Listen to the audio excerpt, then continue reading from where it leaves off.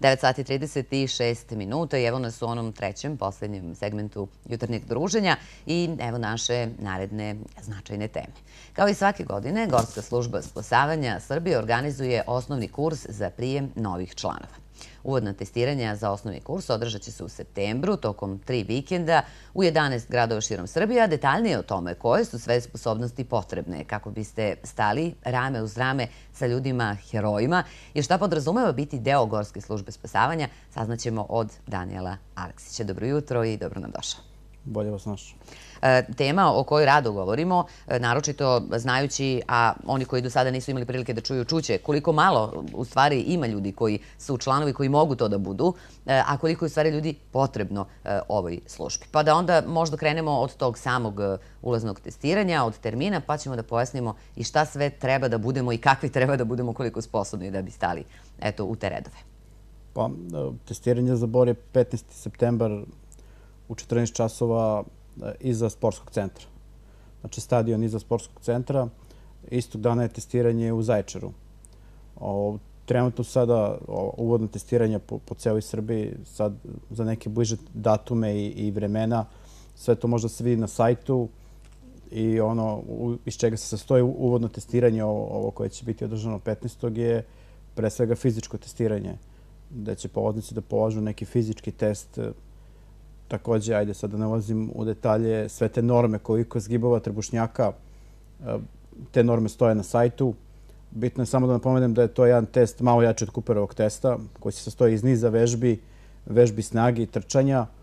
E, tu će da se polože, mislim, ne, neće se polože, popunjavaće se jedan upitnik, e, nakon čega će kandidat ukoliko uđe u taj neki uži izbor biti pozvan na, na razgovor posle tog razgovora koji je informativnog karaktera gde će ljudi koji se bave prijemom da prosto popričaju o nekim njegovim interesovanjima, očekivanjima, zašto se on prijavio. Nakon toga će biti odobrano 35 e, kandidata koji će da e, krenu na tu osnovnu obuku, taj osnovni deo kursa.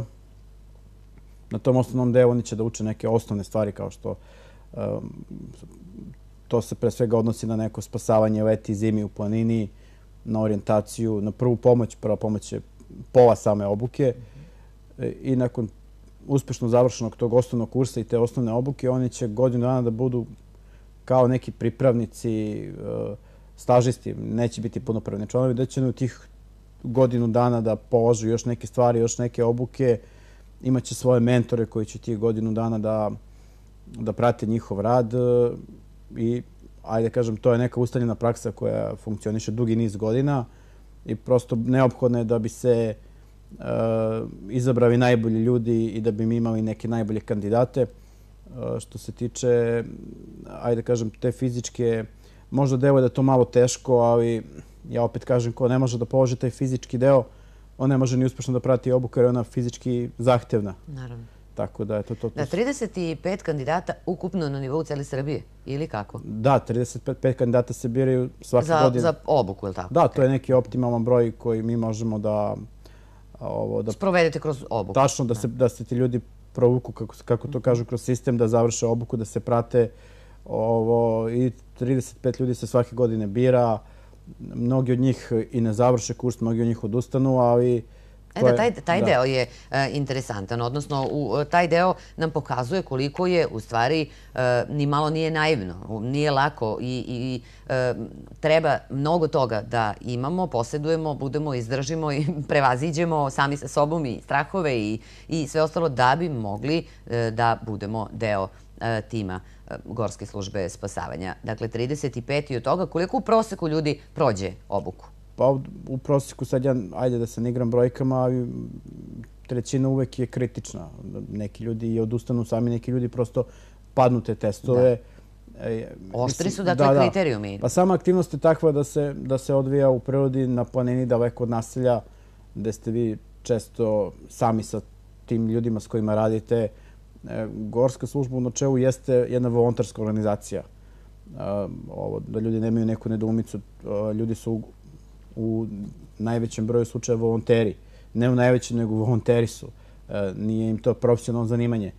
Ali mi stvarno radimo i stvarno smo angažovani kad se spasavaju ljudi na planini.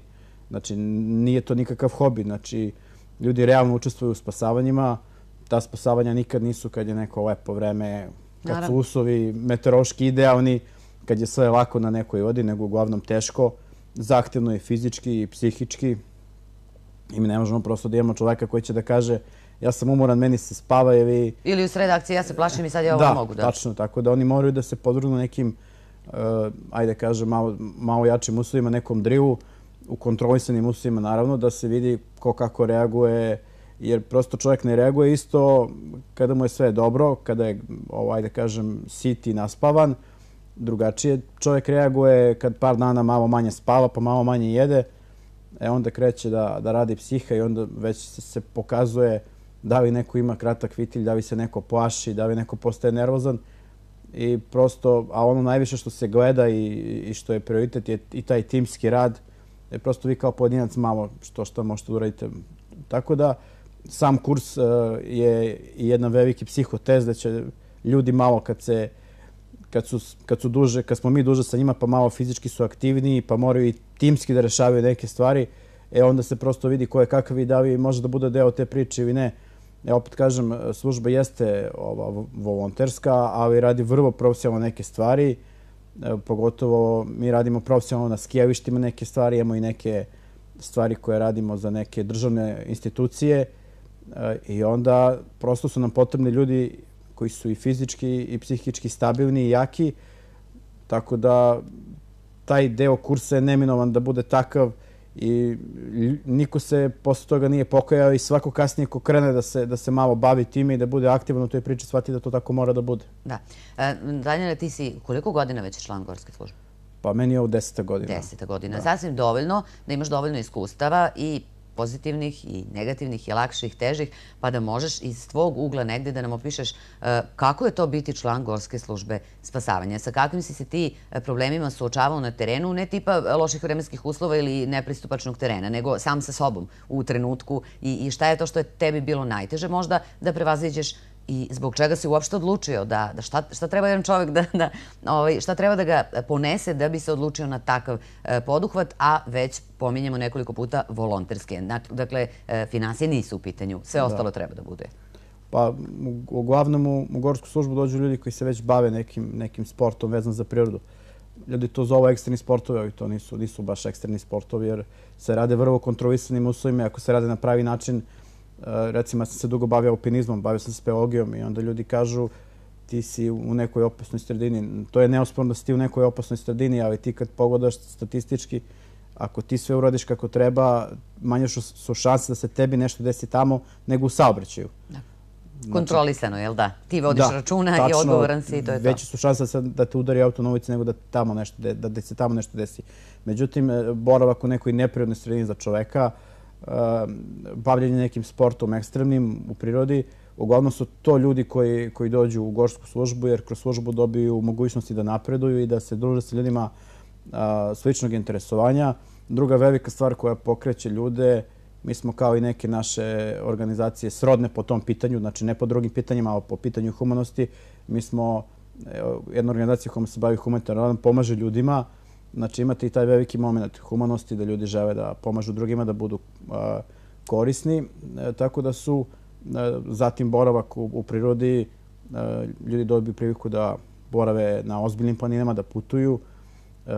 Ali opet kažem, taj osnovni motiv je boravak u prirodi, druženje s ljudima sličnog interesovanja i ta humanost, jer vi vrlo često, vrlo često ljudi koji su aktivni u službu, ne vrlo, nego jako često imaju priliku da stvarno rade ta spasavanja i da pružaju asistenciju sektoru za vane situacije, eh, odnosno MUP-u. MUP nas često angažuje kao, kao pomoći za te neke stvari za koje smo mi specializovani. Čak nas i novi zakon o vane situacijama prepoznaje kao subjekat koji radi to na planini i vrlo smo često angažovani i onda ti kada radiš ta realna spasavanja, kad stvarno nekom pomogneš, to je nešto što pokreće ljude ovo, tako da to su motivi. Ima tu, bude i tih kandidata koji su došli prosto za nekoga ko se bavi tim nekim sportovima. To je malo i stvar prestiža, međutim, takvi ljudi ne opstanu puno. Jer to prođe i onda, ako te pokriču neki drugi motivi kao što su humanost, deo, e, prosto deo da budeš jedne, ko je, ko je dugo godina u službi, on shvati taj značaj da si deo jedne organizacije koja funkcioniše manje više kao porodica. Koja spasava živote ljudima. Da, i funkcioniše kao porodica da, da i služba gleda da pomogne kad neko ima neki problem privatno. Mi se svi znamo, prosto ja kažem, ne postoji mesto u Srbiji gdje ti ne poznaješ nekoga koga možda pozoveš tako da ti se desi. Tako da je to jedna lepa stvar za ljude. Gorska služba je jedna organizacija koja funkcioniše na nivou države ja opet kažem, gde god odeš u Srbiji, da imaš neki privatan problem službeni, ti možeš nekoga da pozoveš i prosto sve više u zadnje vreme postaje prepoznatljiva, kao što je to slučaj recimo u ovim našim e, e, zemljama u okruženju, recimo Slovenija i Hrvatska imaju veliku tradiciju gorske službe, oni su malo i turističke i planinske zemlje. To sad polako doživlja ekspanziju i kod nas, gde i država e, jako dobro prepoznaje značit postojanje takvih organizacija tog volontarskog sektora. Tako da, ajde da kažem, možda sve to ide malo sporo, ali ja sam ubeđen da to sve ide u pravom, pravom smeru gde... U svakom slučaju, da. svake godine u ovom periodu negde razgovaramo na ovu temu i čini se da se stvari pokreću. Pa da, da stvari se da. pokreću, broj kandidata se ne povećava, e, to je recimo sad problem, mm -hmm. mi imamo sve više obaveza, tu smo negde na I tom broju ljudi. Da, ne, ne možemo da nešto okupimo mnogo više ljudi, to je taj neki broj, ima negde oko 250 aktivnih članova, možda oko 1000 prešlo obuku i svake godine nešto uzmemo 35, pa eto, od tih 35 malo njih ostane da tu bude više godina, neke realno život odvuče na neku drugu stranu, pošto svako ima svoje zanimanje, svoj posao, imamo ljude raznih zanimanja, a imamo i lekare i inženjeri, onda oni ljudi prosto porodice. Imaju druge obaveze, tako. Ali jako mali broj ljudi ostane. Ja više mislim da je to nešto tako, jer to je filter koji ostanu, oni koji treba da ostanu ono, neko ne može, neko se prosto ne, ne, ne, pronađe tu, jer možda ljudi kad gledaju sa strane misle da je to nešto ekstra plaćeno, da je to, ali ja kažem ljudi, gledajte to jer ćete dobiti jednu veliku neformalnu korist, dobit ćete jedno veliko znanje. Znanje koje će ti trebati u svakodnom životu. E, drugačije ćeš da gledaš na stvari, e, kad se recimo negde dođeš pa pomažeš, a, a da zato nisi plaćen, nego prosto zato što ti je Lična satisfakcija. Tačno i ja kažem šta god da radiš, ja sam na ovo, na sreću, nažalost, promenio par zanimanja. Meni je to neko praktično znanje koje sam ja tamo stekao mnogo značilo. Jer, za način, kao način prilagođavanja lakšeg, je li tako? Da, vi kasnije, da, kasnije kroz službi dobijete razne obuke koje su stvarno neko neformalno obrazovanje, čak i ove neke sertifikate. Mnogi ljudi su kod nas postavili instruktori alpinizma, spevogije, skijanja, pa su to nešto privatno radili, tako da nije to da ti baš ne dobiješ ništa, dobiješ puno toga, pre svega dobiješ na kvalitetnu i zdravu sredinu. Što ja kažem danas je najbitnije da ti budeš u nekoj zdravoj sredini sa ljudima koji normalno razmišljaju, da se braviš nekim pravim stvarima. A, pre svega ljudi se bave sportom u prirodi. Ja kažem nema ništa, nema ništa lepše kad se ti stvarno baviš sportom i kad to radiš u prirodi i kad još je to humano. Tako da to su neke stvari koje bih ja izdvojio. Jedan odličan spoj. Da još jednom samo ponovimo, dakle u Boru 15. septembra od 14 sati na stadionu Rudar, Park malih sportova. U Zaječaru e, također 15. Istog dana, samo će biti malo ranije. E, Sada da se ljudi ne zbune ako to malo kasni, jer mhm. e, uglavnom oni krenu toga dana iz Niša. Tako je bio ranije godina, prepostavljeno će biti tako. I onda u Nišu bude mnogo ljudi pa se to testiranje malo oduži, pa dok oni momci stignu iz Niša ovde, to me malo i da kasnije ovo nekada, ali da se ljudi, recimo, ako ne, ne dođe niko u dva, ne odu, ne, uh, uvodno testiranje, sve se to ništa ne poća, ne košta. Svako ko hoće na kraju kreva da proba, da popriča sa ljudima, da se nešto malo bolje upozna sa celom pričom, da nešto ima što hoće da pita, što ja možda nisam rekao, toga dana ima priviku, uh, kada dođu instruktori iz Beograda da popriča, bit ćemo i mi sa lokala. Tako da, eto, svako ko ima e, bilo kakvu želju, toga dana ne mora da se testira, može dođe da popriča sa nama, može i da se testira. Ali može u nekom drugom gradu da iskoristi testiranje, Tačno, bude ljudi, da, bude ljudi koji recimo ne umiju da naprave sklad, e, mnogo se istroče na tim vežbama snage, hoće da izvuku maksimum i onda na trčanju ne, ne prođu. Mhm. Pa onda imaju pravo da se testiraju, samo pošto mi organizujemo jednom testiranje ovde, onda ovde i u Beogradu i tako da... Hvala puno na svim ovim informacijama e, i vidjet ćemo se još i nakon testiranja da vidimo kako je prošla stvar ovdje u Boru, koliko se momaka odvažilo da isproba svoju snagu i svoje sposobnosti. Hvala još jednom na ovom gostovanju. E, naredna naša tema u čast voća po kome je Knjaževačka opština prepoznata.